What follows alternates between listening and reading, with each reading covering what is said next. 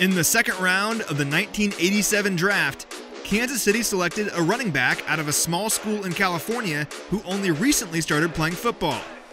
But as the bruising touchdown runs soon piled up, it was clear that Christian Okoye was a quick learner.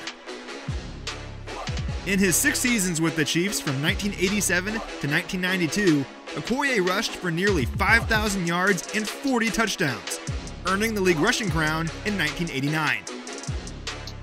His 40 touchdown runs in that span trailed only Barry Sanders, Neal Anderson, Herschel Walker, and Emmitt Smith.